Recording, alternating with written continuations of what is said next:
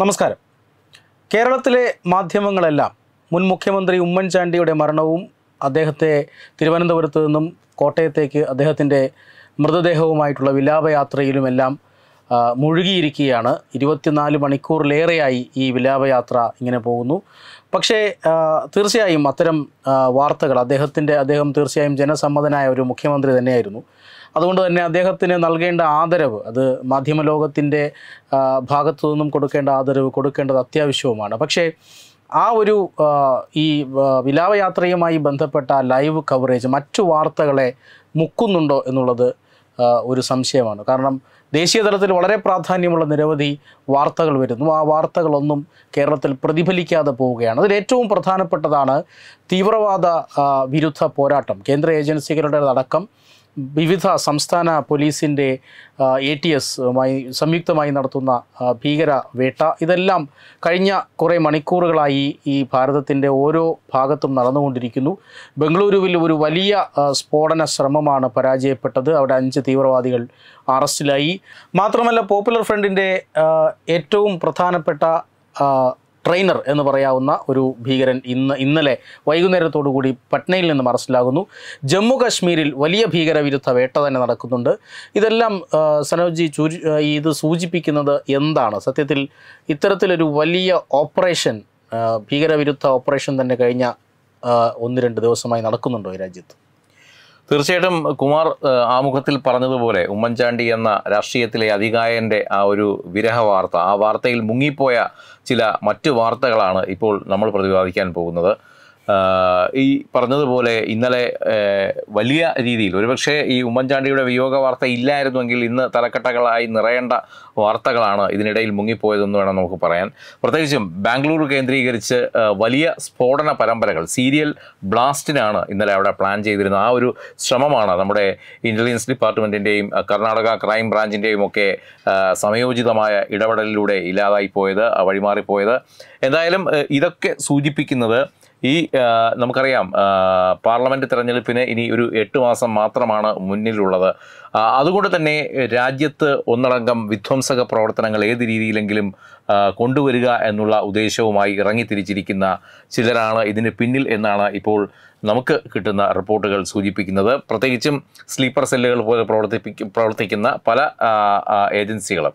അവരുടെ ഒരു ഒരു എന്താ പറയാൻ ഈ സമയത്ത് അവരൊരു ഉണർന്ന് ആക്റ്റീവായി എന്ന് വേണം നമുക്ക് കരുതാൻ. അതനുസരിച്ച് അതിന്റെ ഒരു മറു ഭാഗമാണ് ഇപ്പോൾ നമ്മൾ കണ്ടുകൊണ്ടിരിക്കുന്ന ഇത്തരത്തിലുള്ള ഈ ഓപ്പറേഷൻസ് എന്ന് ഇതിനെ നമുക്ക് വ്യാഖ്യാനിക്കേണ്ടി വരും.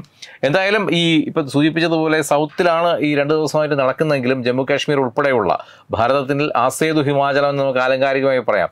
എല്ലായിടത്തും തന്നെ ഇത്തരത്തിലുള്ള ഓപ്പറേഷനുകൾ നടക്കുന്നുണ്ട്. പ്രത്യേകിച്ചും കേന്ദ്ര ഏജൻസികളുടെ ഒരു കോമ്പിംഗ് ഓപ്പറേഷൻ തന്നെയാണ് ഇതിന് പിന്നിൽ പ്രവർത്തിക്കുന്നത്. എല്ലാ ഏജൻസികളും മൾട്ടി ലെവൽ മൾട്ടി ഏജൻസികളുടെ ഒരു ഓപ്പറേഷൻ. പല രീതിയിൽ അവർക്ക് കിട്ടുന്ന ഇൻഫർമേഷൻസ് കളക്ട് ചെയ്ത് അതനുസരിച്ച് ഒരു ഏജൻസി മറ്റൊരു ഏജൻസിക്ക് വിവരം കൈമാറി. അങ്ങനെ ആ രീതിയിലുള്ള ഒരു ഓപ്പറേഷൻ നടക്കുന്നതായിട്ടാണ് തത്വമയി ന്യൂസിന് കിട്ടുന്ന ഒരു വിവരം. എന്തായാലും അടുത്ത ദിവസങ്ങളിലും ഇത്തരത്തിലുള്ള ഓപ്പറേഷൻ പല ഭാഗങ്ങളിലും നടക്കും. കൂടുതൽ ഇത്തരത്തിലുള്ള വിധ്വംസക പ്രവർത്തകരെ കണ്ടെത്താനാകും എന്നുള്ള ഒരു പ്രതീക്ഷയിൽ തന്നെയാണ് നമ്മളെ ഇന്റലിജൻസ് വിഭാഗവും മറ്റ് സേനാ വിഭാഗങ്ങളുമൊക്കെ.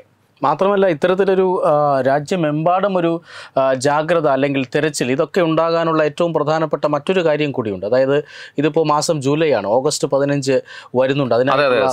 അതിനായിട്ടുള്ള, അതിന് അതിന്റെ ഭാഗമായിട്ടുള്ള തിരച്ചിൽ അത് ഒരുപക്ഷെ ഇത്തരത്തിലുള്ള കാര്യങ്ങളൊന്നും ഇല്ലെങ്കിൽ തന്നെയും എല്ലാ വർഷവും നടക്കുന്ന റൊട്ടീൻ ആയിട്ടുള്ള കുറെ കാര്യങ്ങളുണ്ട്. ഈ ഓഗസ്റ്റ് പതിനഞ്ച് അല്ലെങ്കിൽ തന്നെ ഇത്തരത്തിലുള്ള ചില ഓപ്പറേഷൻസ് നടക്കുന്ന ഒരു സമയം ഇന്ത്യയിൽ നടക്കുന്ന പതിവായി നടന്നു വരുന്ന ചില സമയങ്ങളുണ്ട്. പ്രത്യേകിച്ചും ഓഗസ്റ്റ് പതിനഞ്ച് സ്വാതന്ത്ര്യദിനം അതുപോലെ ജനുവരി ഇരുപത്തിയാറ് നമ്മുടെ റിപ്പബ്ലിക് ഡേ. ഇതോടനുബന്ധിച്ചൊക്കെ ഇത്തരത്തിലുള്ള ഓപ്പറേഷൻസ് മാസങ്ങൾക്ക് മുമ്പ് തന്നെ നടത്താറുണ്ട്. പക്ഷേ പ്രത്യേകിച്ചും ഈ ഞാൻ നേരത്തെ സൂചിപ്പിച്ചതുപോലെ ലോക്സഭാ തെരഞ്ഞെടുപ്പ് കൂടി പടിവാതിൽക്കൽ വന്നു നിൽക്കുന്ന ഈ ഒരു സമയത്ത് രാജ്യത്തെ ഒരു സുരക്ഷിതത്വം ഉറപ്പാക്കേണ്ടത് ഗവൺമെന്റിന്റെ ചുമതലയാണ്. ഇതിന്റെ ഭാഗമായിട്ട് തന്നെയാണ് കേന്ദ്ര ഏജൻസികളുടെ നേതൃത്വത്തിൽ വലിയ രീതിയിലുള്ള കോമ്പിംഗ് ഓപ്പറേഷൻ. ഒരുപക്ഷെ സൗത്തിൽ ഇതിന്റെ നമ്മൾ കാലാകാലങ്ങളായി പറയാറുണ്ട് സൗത്ത് എന്ന് പറയുന്നത് ഇതിന്റെ ഒരു ഹൈഡ് ഔട്ടാണെന്ന് പ്രത്യേകിച്ചും കേരളം പോലുള്ള സംസ്ഥാനം.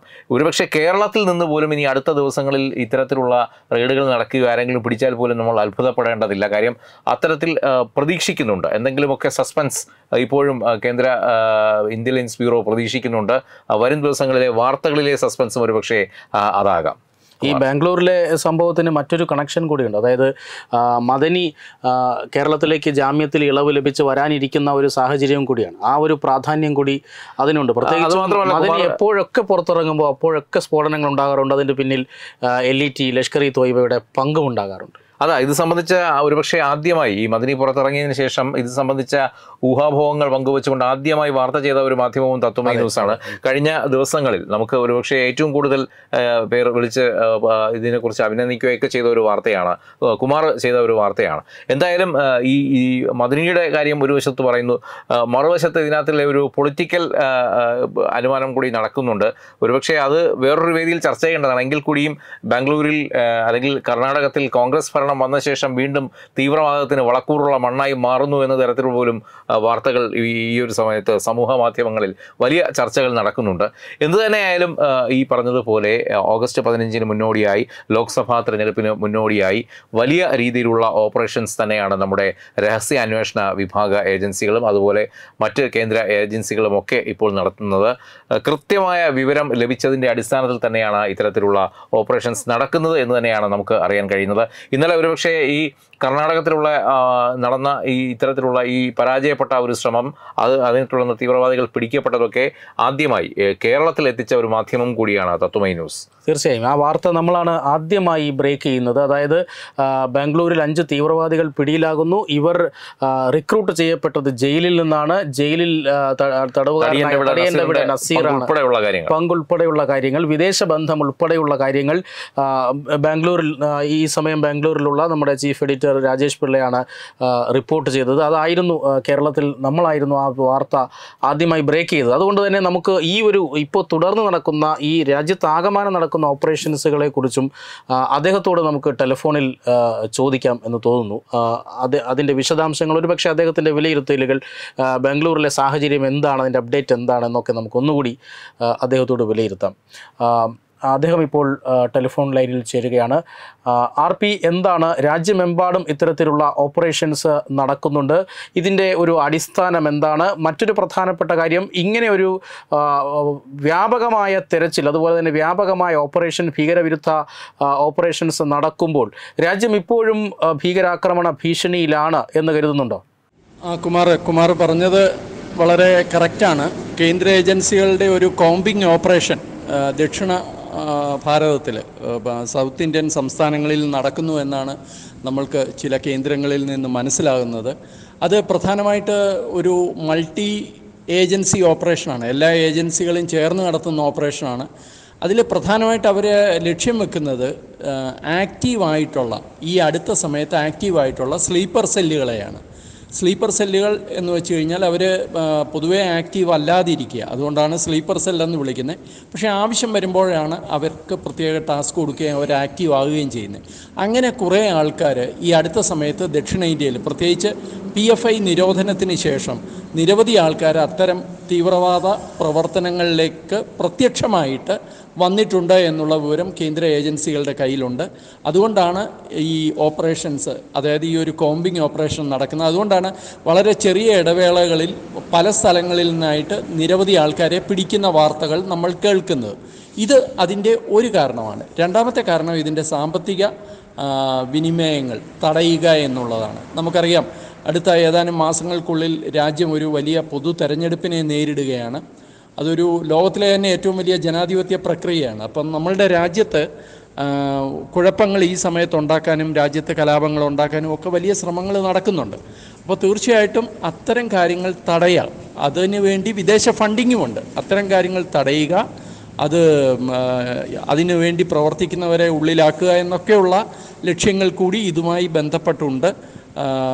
ഈ സ്ലീപ്പർ സെല്ലുകളിൽ തന്നെ ഏറ്റവും വലിയ ഉദാഹരണമാണ് കഴിഞ്ഞ ദിവസം ബംഗളൂരുവിൽ അറസ്റ്റിലായ അഞ്ച് തീവ്രവാദികൾ. അതിൽ പലരും ഫാമിലി സഹിതം വീടുകളിൽ വാടകയ്ക്ക് താമസിക്കുകയായിരുന്നു. ബാംഗ്ലൂരിന്റെ വിവിധ ഭാഗങ്ങളിലായിട്ട് പെയിന്ററായിട്ടും മറ്റ് തൊഴിലാളികളായിട്ടും അവർക്ക് ഭീകരപ്രവർത്തനവുമായി എന്തെങ്കിലും ബന്ധമുണ്ട് എന്ന് അയൽവാസികൾക്കോ അല്ലെങ്കിൽ വീട്ടുടമസ്ഥർക്കോ ഒന്നും യാതൊരു പിടുത്തവും ഉണ്ടായിരുന്നില്ല.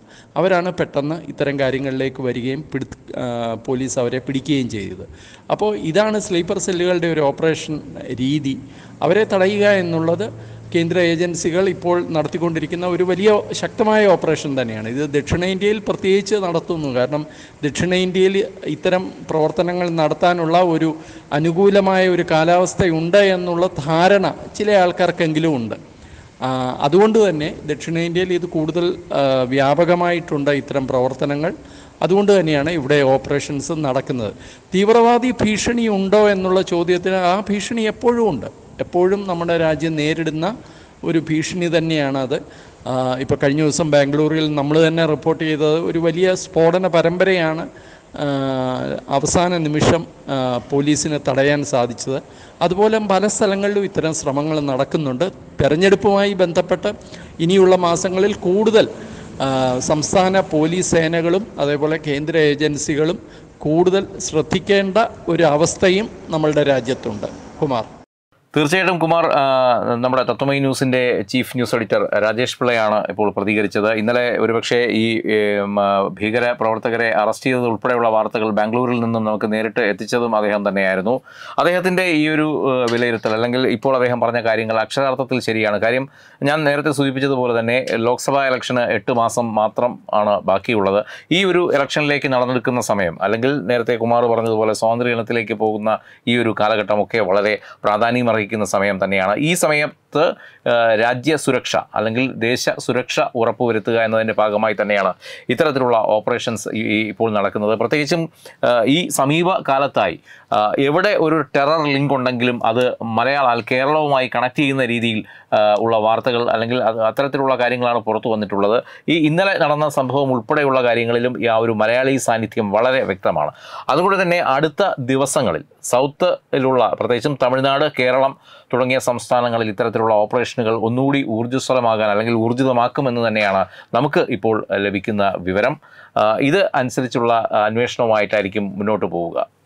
എന്തായാലും ഭീകരാക്രമണം ഉണ്ടായതിന് ശേഷം ആ സംഘടനകളെ തേടി പോവുക അല്ലെങ്കിൽ അതിൽ പ്രതികളെ തേടി പോവുക എന്നതിനപ്പുറം സർവൈലൻസിന് പ്രാധാന്യം നൽകുന്ന ഒരു സുരക്ഷാ സംവിധാനമായി പ്രത്യേകിച്ചും രണ്ടായിരത്തി പതിനാലിന് ശേഷം ഇന്ത്യ മാറിയിരിക്കുന്നു എന്നുള്ളതാണ്. അതുകൊണ്ട് തന്നെ നിരന്തരമായി തീവ്രവാദികൾ ഇപ്പോഴും നമ്മളെ ലക്ഷ്യമിടുന്നുണ്ട്. പക്ഷേ ഈ ആക്രമണ പദ്ധതികൾ പരാജയപ്പെടുന്നുണ്ട്. അത് നമ്മുടെ സംവിധാനങ്ങളുടെ ഒരു കാര്യക്ഷമത എന്ന് തന്നെ വിലയിരുത്തണം. എന്തായാലും നമ്മൾ പറയേണ്ടതാണ്. കാര്യം പണ്ടൊക്കെ ഇവർ ഒരു കാര്യം ആസൂത്രണം ചെയ്ത് അത് നടപ്പാക്കി അതിന്റെ അന്വേഷണം വർഷങ്ങളോളം പുരോഗമിച്ച ശേഷത്തിലായിരിക്കും അവർക്കൊരു ലിങ്കിലേക്കെങ്കിലും എത്തിച്ചേരാൻ പറ്റുന്നത്. മറ്റ് മറിച്ച് ഈ ഇപ്പോൾ നടക്കുന്നതെന്ന് പറഞ്ഞാൽ അവരിത് ചിന്തിക്കുന്ന സമയം നമ്മളിവിടെ പ്രവർത്തിച്ചിരിക്കും അതിനെതിരായി. ആ ഒരു രീതിയിലേക്ക് നമ്മുടെ സുരക്ഷാ സംവിധാനങ്ങൾ കുറ്റമറ്റതായി മാറിയിരിക്കുന്നു എന്നുള്ളത് ഈ ഒരു അവസരത്തിൽ നമ്മൾ എടുത്തു പറയേണ്ട കാര്യം തന്നെയാണ്. എന്തായാലും ഇതുമായി ബന്ധപ്പെട്ട രാജ്യസുരക്ഷയുമായി ബന്ധപ്പെട്ട രാജ്യത്തെ ഭീകരവിരുദ്ധ ഏജൻസികളുടെ പ്രവർത്തനവുമായി ബന്ധപ്പെട്ട അപ്ഡേറ്റുകൾ വരും മണിക്കൂറിലും പ്രേക്ഷകർക്ക് പ്രതീക്ഷിക്കാം. Web desk Tatwamayi news powered by Diganta resort Ahmedabad Gujarat phone nine zero double nine zero double five one three five